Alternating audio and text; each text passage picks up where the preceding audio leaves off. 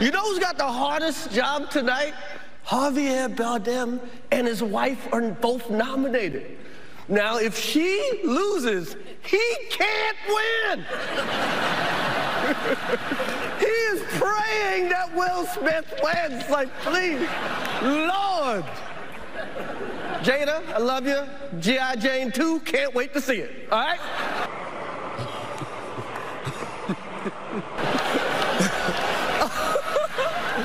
that was a that was a nice one. Okay, I'm out here. Oh, oh wow.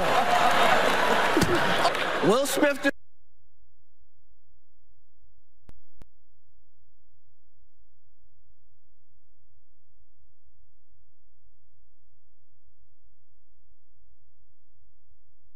Oh, I could, oh, okay. That was a greatest night in the history of television. Okay.